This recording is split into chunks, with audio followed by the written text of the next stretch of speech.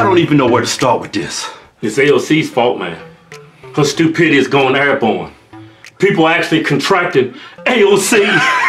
Man, let me tell you what's going on. yeah. Okay, it's this great company called Wayfair. Yeah, Right. it's like Home Depot 2.0, man. They got Right. nice stuff there. They got nice furniture, appliances, everything for the home. They you can get it at Wayfair.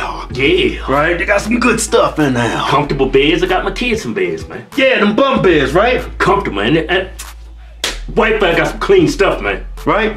So this is this is the story. Yeah. There's an employee at mm. Wayfair, right? Okay. I don't know if it's a he or she, or maybe it's a Don't go there.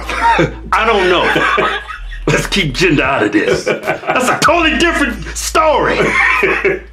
Employee notice over $200,000 in beds, right? They're shipping it to the border, to the detention centers where they're housing illegal immigrants. Because they at the border, mm-hmm. they're getting overwhelmed. So they're expanding, opening up new facilities. Mm-hmm. So Wayfair got an order from a government contractor Yeah. and shipped the beds down, right? the kids need them beds, man.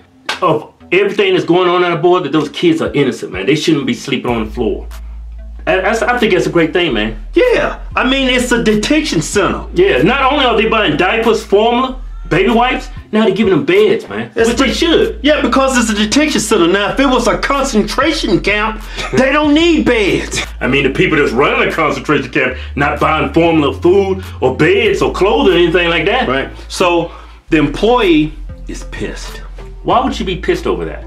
Those kids need those beds. And employee starts talking. She got AOC. What? She got AOC. She caught it. She called it. Now she's infecting everybody at Wayfair. she told everybody at Wayfair. now there's 547 employees. They put together this petition, gave it to the CEO, CEO and if the CEO doesn't honor that, mm-hmm, stop selling stuff to them, they gonna walk out tomorrow. 547 employees. Bye. See you later. Don't nobody care. They Wayfair's doing a good thing. Those kids need those beds, man. Them some damn good furniture, them damn good beds there. But when I first heard this story, man, let me rationalize how flawed these people thinking is. AOC and these 500 plus employees. This is how flawed their reasoning is. They're not saying that they hate those kids at the border or those people at the border. They're not saying that. That's not why they're not giving them. That's not why they're not giving them the beds. What they're trying to say is they think it's against humanity to stop people, to vet people at our border, and they should be able to come and go as they please. They think that that is against God's will, us having a border there. They think it's inhumane for us to vet people before they come in our country. Human rights violations. That's a human rights violation. I don't know not one country that just let people come and go as they please. When I go to London, I need a passport. I need a visa. When I go to Australia, I need a passport. I need a visa. Yeah. These people are coming to this country not through a legal point of entry. No paperwork, no visa, no identification. Half the time these damn kids is not even with their parents, and we can't vet these people? If you don't vet them, you get 9/11. Yeah, people are gonna die. Uh, sex trafficking. You get diseases. You get drugs. What if somebody came over from Africa with Ebola and walked in? Yeah, just walked in here and did this.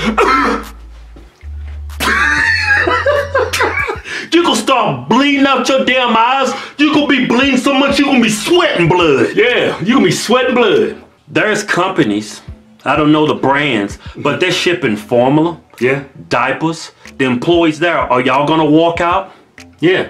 The kids need to eat. Babies need that formula. They need diapers. They need baby wipes. If you don't wipe the kid's ass, it's gonna get a damn butt rash from hell. Yeah, are y'all gonna stop that next? I mean, this doesn't make any sense. And actually, AOC, man, she couldn't be happier, man. Yeah, she tweeted some dumb shit. Pull it up. Well, it's not her fault, man. She called AOC, man. Yeah. There's She- a cheer for it. yeah. It's called mega pills. Look here, Wayfair workers couldn't stomach they were making beds to cage children. Caging children wasn't a problem when Obama was in office. You know why they had to build these cages? Cause the border's been overwhelmed. Yeah. The the border and its security is not being funded by Congress. Yeah. They don't have the money, so they doing what they can. Yeah, I don't mean to digress, but you remember when Trump said we had a, a crisis at the border? Remember CNN, all the mainstream media? Remember Jim Acosta went to the border? He said he don't see no crisis. Y'all remember that bullshit? Nobody, everybody called him a liar. Now the truth is out. Where's CNN? Where's Jim Acosta now? Yeah, now they calling them concentration camps. Look, and her tweet goes on. Wayfair workers couldn't stomach they were making beds to cage children. They asked the company to stop. CEO said no. Tomorrow they're walking out. This is what solidarity looks like. A reminder that everyday people have real power as long as we're brave enough to use it. I heard that before.